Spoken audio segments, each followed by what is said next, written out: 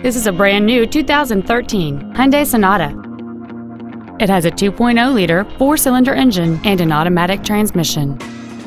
Its top features include a navigation system, a power sunroof, heated seats, a low tire pressure indicator, satellite radio, and traction control and stability control systems. The following features are also included air conditioning, a second row folding seat, cruise control, a leather wrapped steering wheel, a security system, fog lamps, an anti lock braking system, a passenger side airbag, steering wheel mounted controls, and alloy wheels. We invite you to contact us today to learn more about this vehicle.